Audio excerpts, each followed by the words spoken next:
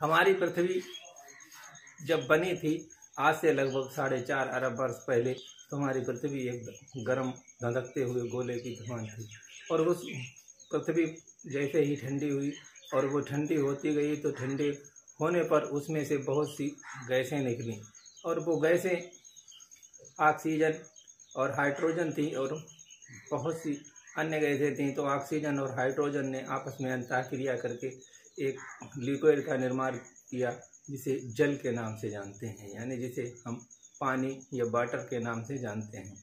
और ये वाटर वैज्ञानिक रूप से ऑक्सीजन और हाइड्रोजन के मिले हुए अणु होते हैं, यानी इसमें एक ऑक्सीजन का अणु और दो हाइड्रोजन के परमाणु होते हैं। ऑक्सीजन और हाइड्रोजन के जो परमाणु मिलकर आपस में जब अंतर क्रिया करते हैं तो वो पानी का निर्माण करते हैं।